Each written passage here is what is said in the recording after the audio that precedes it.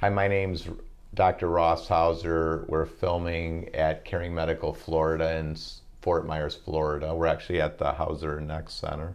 Mm-hmm. And I have another amazing person to talk to today, Tommi.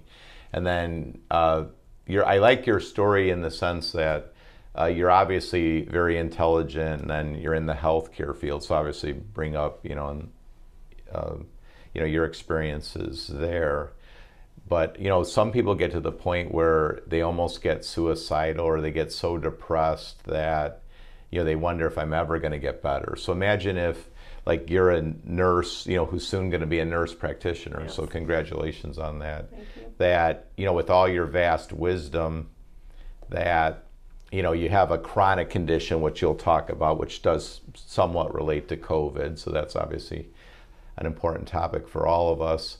And then you know, you chose to go outside the box. Like you chose to go outside of traditional medicine. So, Tommi, if you just tell us your story and your experience, you know, here at Caring Medical, and yeah. you're hopeful now, or I um in June 2020, I was diagnosed with COVID, and I was pretty ill with that. I'm still have the long hauler symptoms as of today still. Um, and then, in, what's today's date? Today is August 24th, yep. 2021. So yeah. it's been about 14, 15 months now yep. dealing with it. But in September, I developed a bowel obstruction of 2020.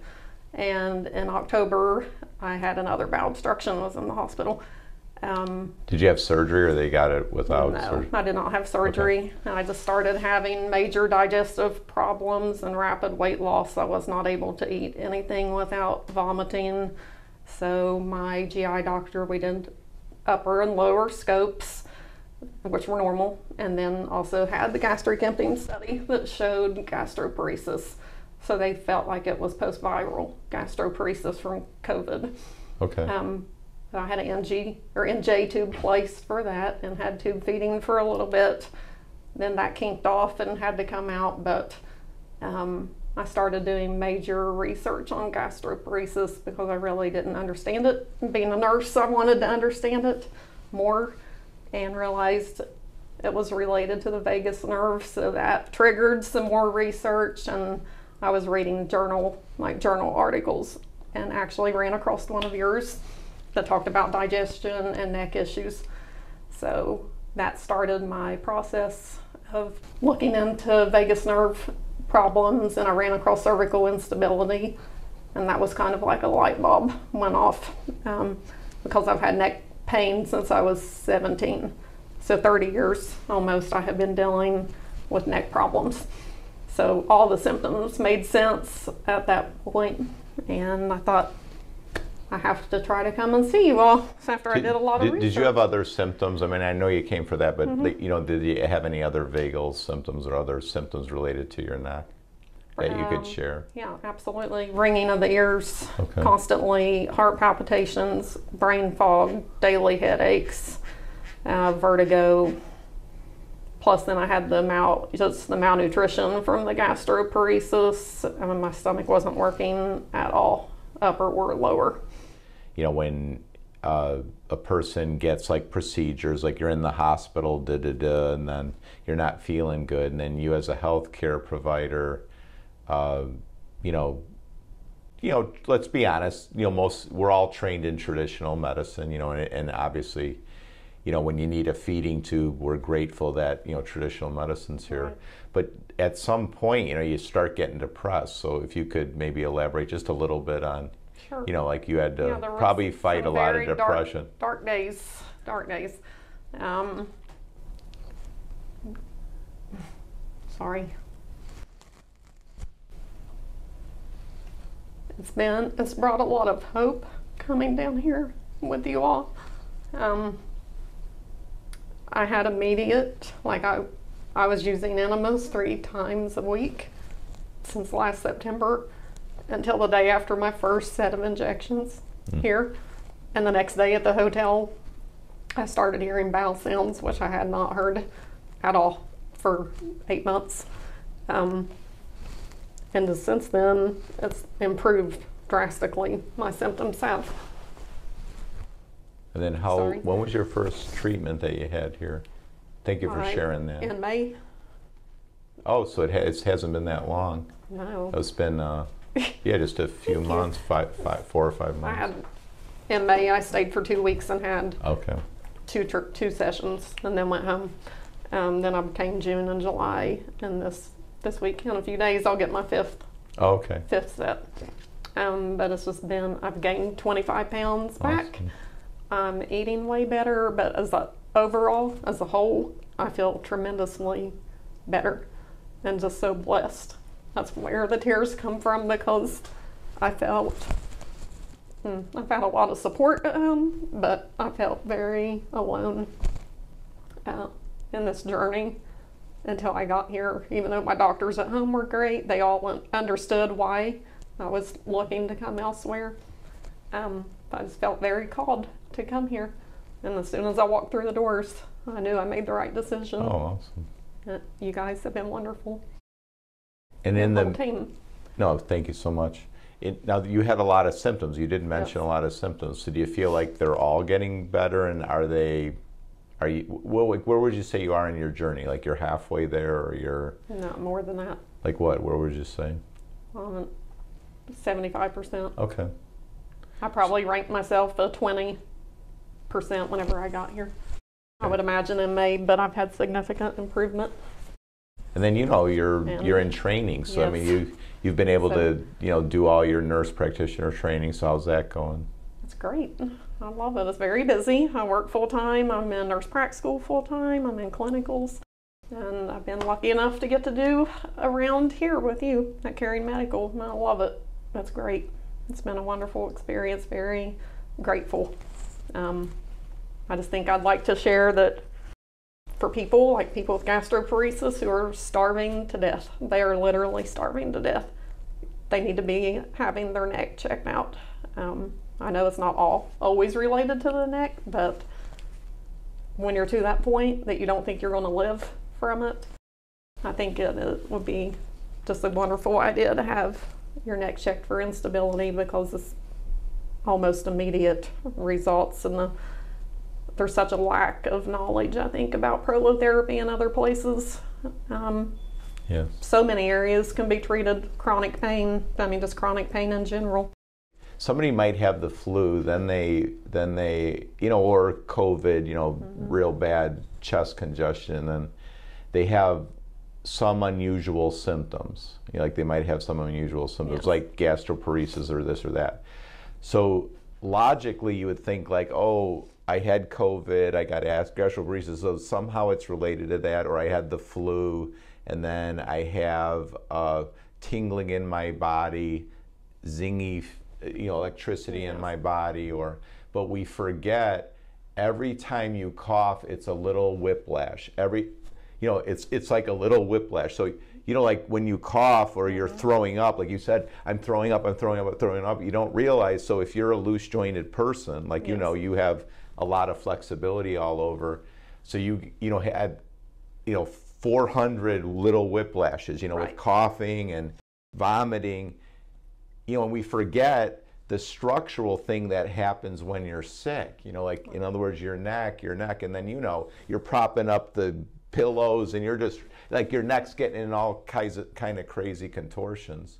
So there's that, and then also people have procedures. Like almost every day, I, I, I have my staff comes to me. Like this morning, it was the person was intubated, and then after the intubation, their tongue was really swollen. Then they had chronic, like basically chronic tongue pain mm-hmm. after the procedure. The same thing can happen after like a root canal or a dental procedure.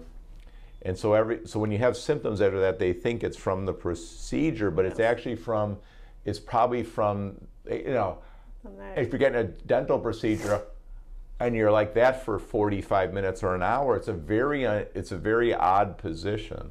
So sometimes it's just that, or in your case, at some point, your neck looseness became neck instability, Yes. and then once you get upper cervical instability, I mean, you can get any brain symptom or. Uh, the so neurological symptoms were very off the chart whenever I came down here. doesn't that make sense? Like It actually could have Oh. been, Well, every time I would vomit, I would have a migraine or felt like the right side of my head was so, had so much pressure.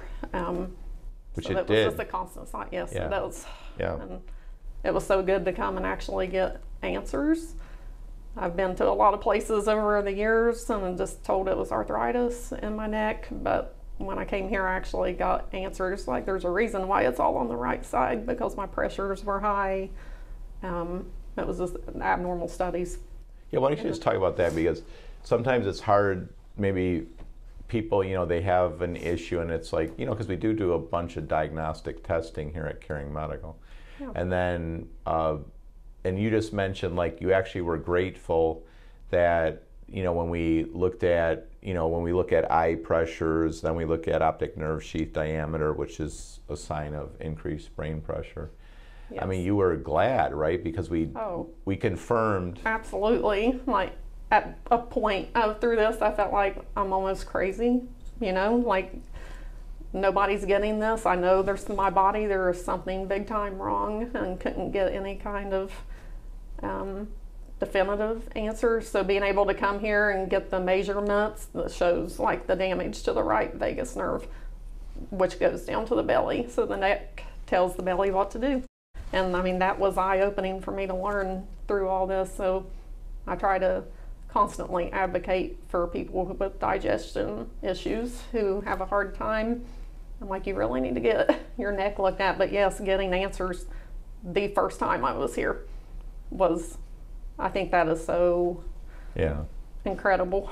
Well, it's uh, affirmatory that you you actually have a structural problem causing another problem. Like you have neck instability or misalignments Right. or bad curve, and then it's causing, you know, your vagus nerve not to function right. Which, of course, the vagus nerve that's what gives you contractility. So if you don't, if the vagus nerve isn't working, the digestive tract, it's not gonna, it's not gonna be uh, the motility of it's not gonna be good and you could end up with where the digestive tract actually doesn't work. Right. And you know That's that's, what you're saying is like it's not right. Well, our hope is that people who have dysmotility or they have bowel obstructions or they have um, gastroparesis and nobody can find the cause, you just should think of well maybe it's a neurologic cause and the neurologic problem has a structural problem somewhere in the spine.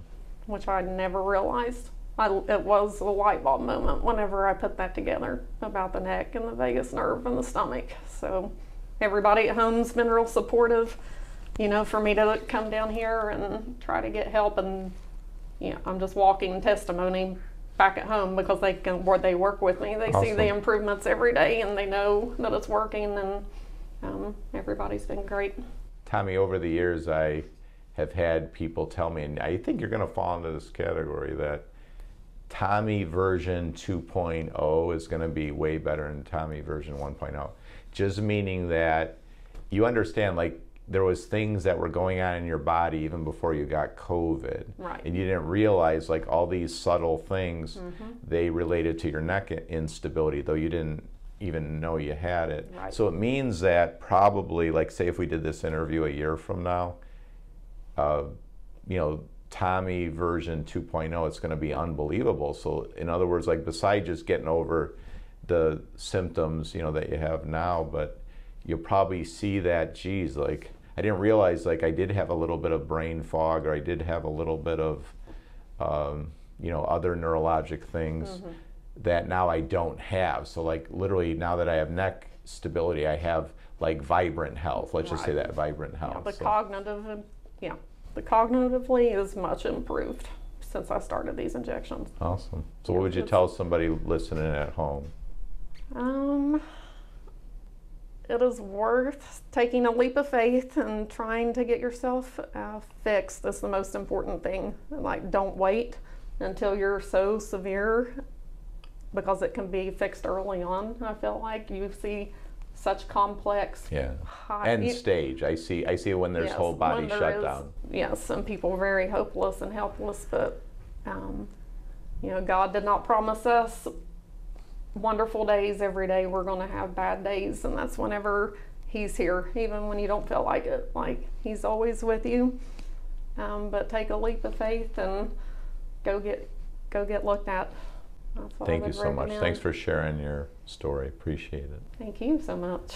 I appreciate it.